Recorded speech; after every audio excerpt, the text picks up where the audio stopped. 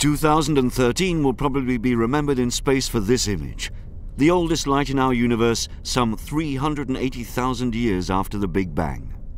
This is the legacy of ESA's Observatory Planck, the most detailed map ever created of the cosmic microwave background.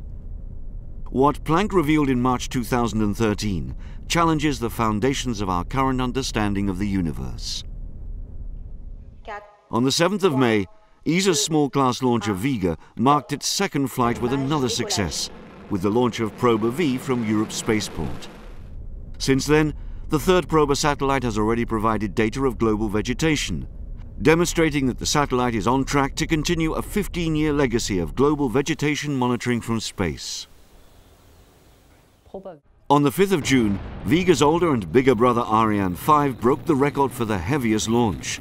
Weighing more than 20 tons, ATV-4 Albert Einstein delivered more than 1,400 items to keep the ISS operating and to allow its six residents to perform their daily experiments.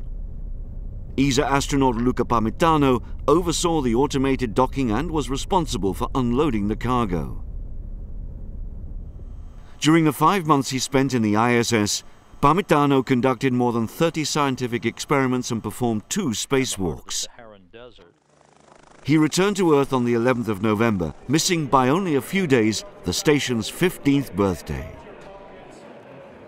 2013 has also been an important year for satellite communications.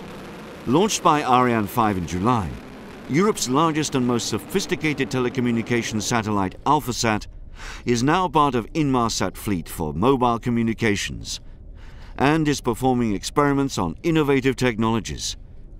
AlphaSat represents also a new approach in satellite communications, since it was achieved through a public-private partnership between ESA and Inmarsat.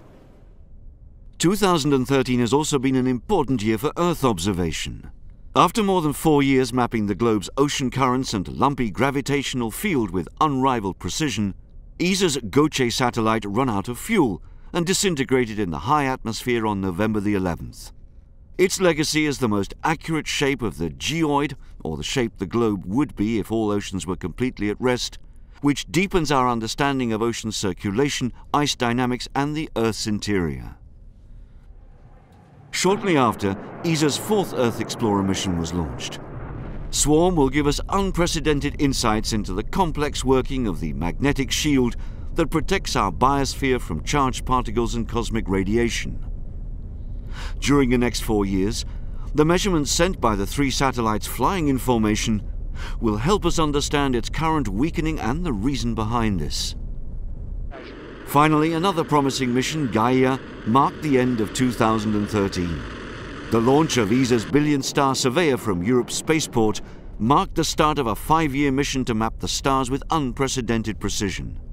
By charting their positions and changes in brightness and composition, Gaia is expected to produce the first ever 3D map of the Milky Way, helping us to understand better the structure and history of our home galaxy, to discover new supernovas and maybe even planets around nearby stars.